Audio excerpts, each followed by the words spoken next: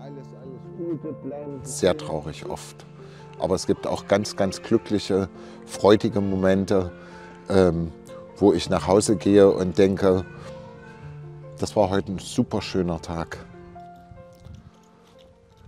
Hallo, Frau Eberhardt.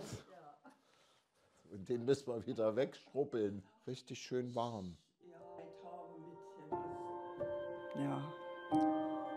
Oder man kann auch über einen Arzt. Es ist furchtbar, wenn eben keiner da ist. Die Einsamkeit, gell? Das ist der einzige Mensch, mit dem ich mich richtig unterhalten kann. Das kann man ja nicht mit jedem, ja. Aber hier mit Herrn Böhm kann man, kann man offenes Wort reden, ja. Das haben wir uns ausgemacht.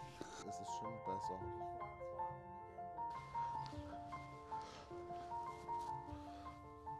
Er ist ein so guter Mensch und die Leute sollen alles sehen, dass sie jemand bekommen, der sie genauso behütet, wie er mich behütet. Von Dorf, da wurde das nicht so sein.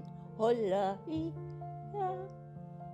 Bei den Schicksalen, die ich so teilweise mitbekomme, bekommt man schon auch ein bisschen Angst vorm Alter. Und ich gehe also seit dieser Tätigkeit wesentlich bewusster mit meinem Leben um